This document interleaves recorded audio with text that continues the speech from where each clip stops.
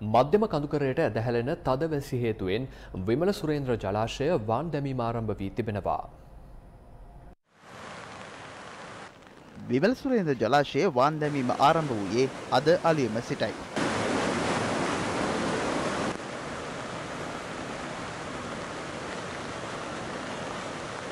අද පෙරවරුවේ නෝටන් නගරේ පහත්දිම් ජලයෙන් යට වුණා.